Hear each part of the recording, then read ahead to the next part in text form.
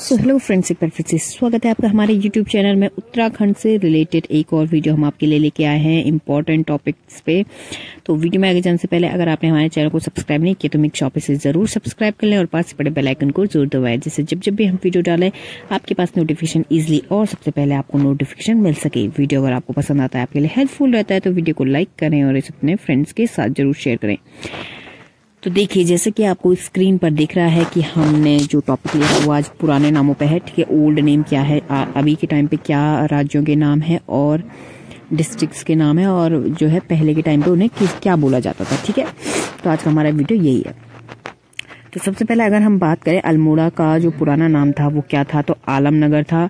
इसी तरीके से देहरादून का द्रोण नगर था, चमोली का लाल सांगा उत्तरकाशी का बारहट, हरिद्वार को मायापुरी माया नगरी भी या फिर माया इस तरीके से बोला जाता है, ठीक है? नेक्स्ट जो यहाँ पे टिहरी टिहरी को, टिहरी का जो पुराना नाम था, वो त्रिहरी या फिर गणेशपुर था, ठीक है? गणेश प्रयाग सॉरी रुद्रप्रयाग का नाम है पुनाड़।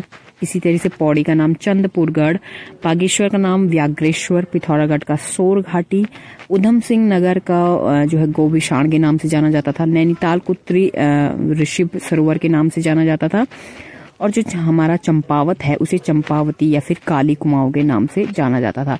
तो ये जो पुराने नाम है, इन पर भी एक वीडियो सॉरी एक क्वेश्चन बनकर के आता है एग्ज़ाम में, जितने भी आपके वनडे एग्ज़ाम्स होते हैं। तो वीडियो पसंद